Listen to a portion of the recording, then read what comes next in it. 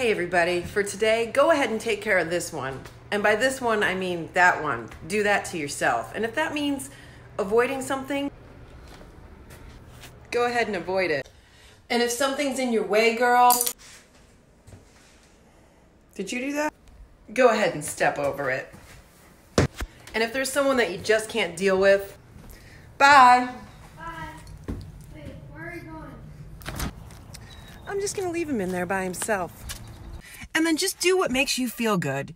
And for me, that's driving around the neighborhood, talking to no one and going nowhere while reading How Does Rachel Brosnahan Stay Grounded?